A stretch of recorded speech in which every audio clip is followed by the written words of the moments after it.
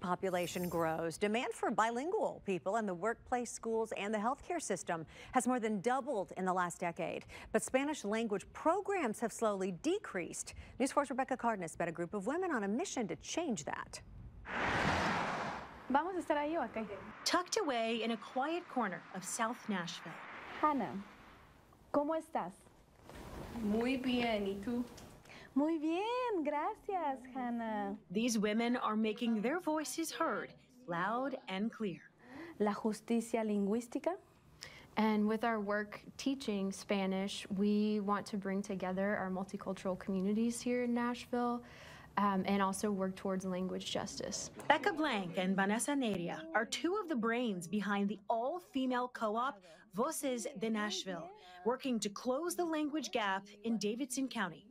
We cannot exist as a city without our Spanish speaking population. We absolutely cannot.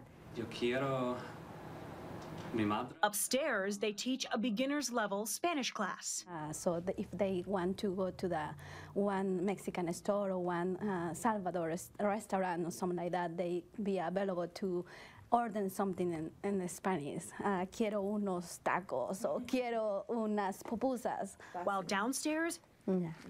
Future Spanish teachers learn. almost every week I go into a store and I hear people talking in Spanish. I hear side conversations. I don't know where this is or how do I ask or who do I ask. Uh, and so I'll, I'll come up and I'll say, hey, why can I help you? Uh, but it, there's only me.